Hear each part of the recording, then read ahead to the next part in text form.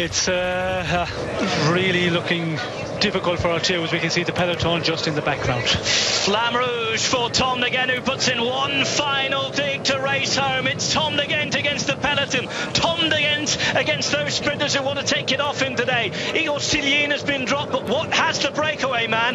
The man in the polka dot jersey all sorts of trains coming together trying to bring it to the front. The yellow jersey's still there as well. The odd sprinter has left. It's going to be a right old mess in the chase, but those who remain have got a chance if they can pull down this man behind. Silin is there. Are they going to do it? Oh, they've got him in sight now inside the final 500 metres. Arnaud Démare is perfectly placed here, but Tom De Gendt is still out in the front. Silin is taken in by the peloton. Oh, and De Gendt is going to fall just short, I think, of the line. It's horrible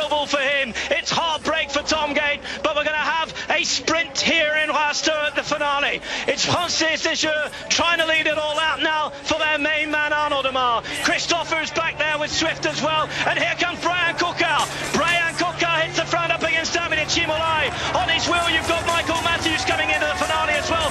Coquard still at the front. Is he going to get it? Coquard going away. Cimolai coming around there. Cimolai is there, and it is a Lampre victory. A Lampre victory, and Davide Cimolai is there raises his arms, and what a win for Lampre.